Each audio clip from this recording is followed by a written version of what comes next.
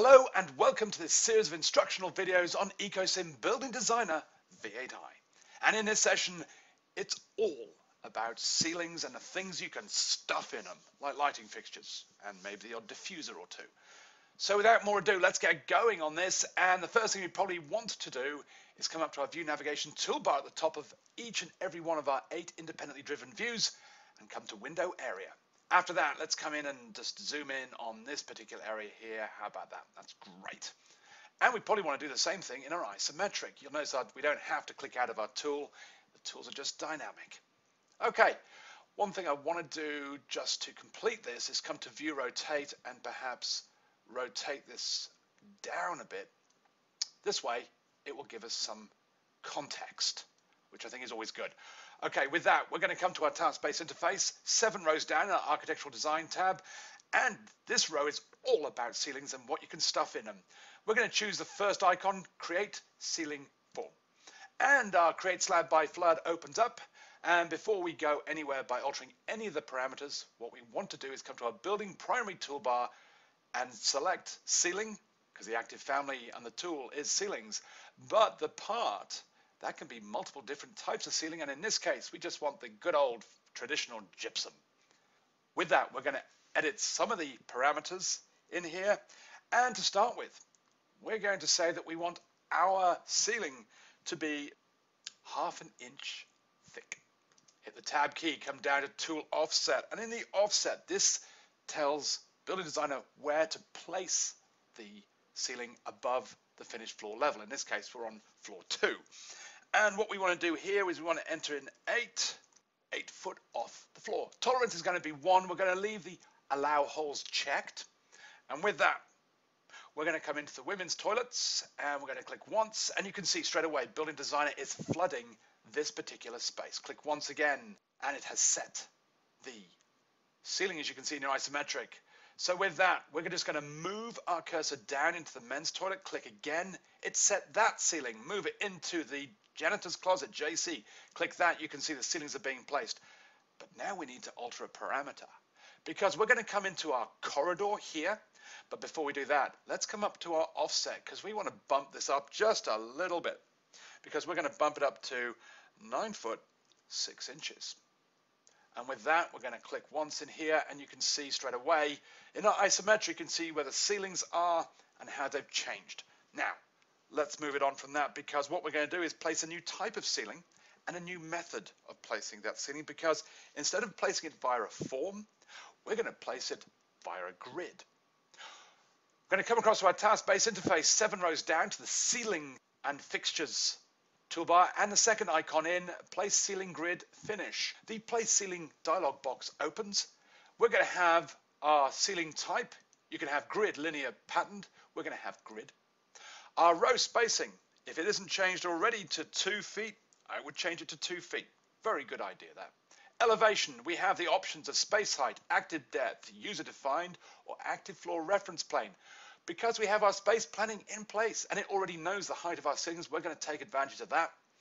The by is that we have center tile, center corner by point. We're going to choose a default, which is center tile.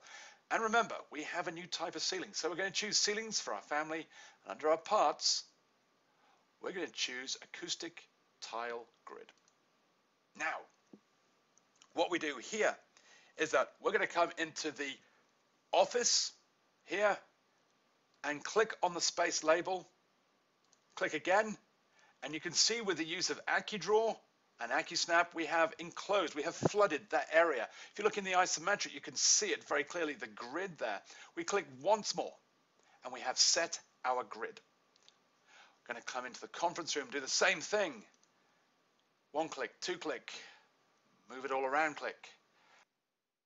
So there we've placed our storage, conference and office spaces. We've aligned our grids up. Design-wise, this is looking very, very good. But there are other ways to place seating grids because not all rooms are the same, not all designs are the same, and not all design methodologies are the same. So let's have a look at how we can place another type of ceiling grid. Let's use our pan button or the press down on your wheel and your mouse, and we're just going to come in here and center in to some degree on our executive office.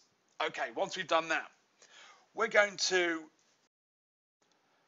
So with our by set by point, we can now place a new type of ceiling in a new methodology. We're still going to use our acoustical tile, but as you can see here now, if I select the space label or I come up to the extents of the space, select once, click left again, I now have the ability to place via point.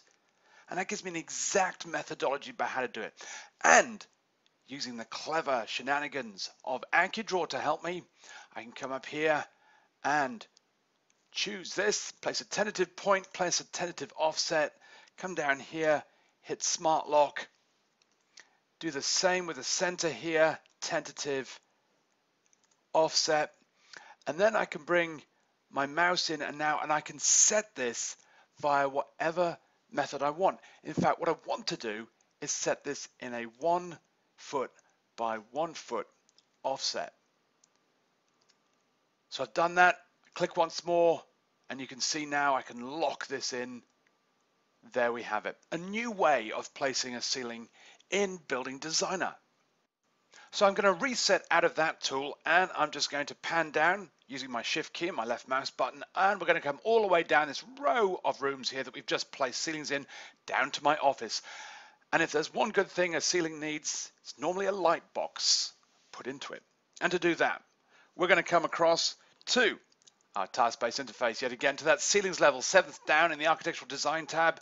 And we're going to come across to place single fixture icon. Click on that. The place single fixture dialog box opens. We're going to place by a point. Our elevation is going to be our space height. Our active fixture, if we click on that jump box, is going to be a lighting 2 by 2 fluorescent offset line. Our offset, we're going to click on that. We're going to say bottom left. And then we're going to click on the label of office like that. And we're going to place this into one of our ceiling tiles here. And then you can see that AccuDraw AccuSnap gives me that level of control about how, as soon as I snap to a grid line, AccuSnap comes into play. I can click once, and now I can just come in here and press here and just place these. Let's move AccuDraw out the way. We're going to place these. And there we have it. If you look in the isometric, you can see that we have our series of lighting fixtures placed. Now that we've placed our ceiling grids, our acoustic tile ceilings, and we've placed a number of lighting fixtures in them, there's one other thing that we need to place and to give guidance to when it comes to the design of our constrained and defined spaces, and that is the ventilation of it. And to do that, we flex some of Building Designer's fantastical physique by coming up to our pull down menu and going to Building Designer and dynamically loading our whole mechanical design subset within inside of Building Designer. And as soon as you click and load that, you see immediately we now have a whole legion of new tabs that encompasses the whole of the mechanical design workflow as well as the analysis of it. And the one that we want is the top one, HVAC grills and diffusers. And the icon is our first icon on our first level there, place top square ceiling diffuser.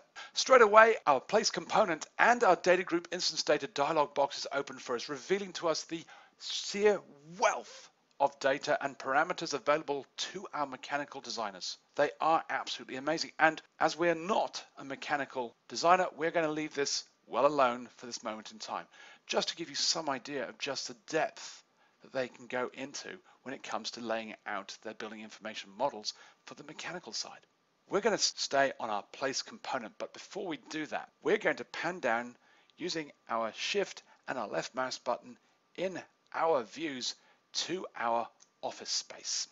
And the same is going to be said for our isometric. And as you can see on our cursor, we have the diffuser that we're going to be placing. Now we can change the placement point of this by clicking on this icon here and coming down to bottom left. And that's about as much as we really want to get involved because it's not our area of expertise. So now let's go and place the ceiling diffuser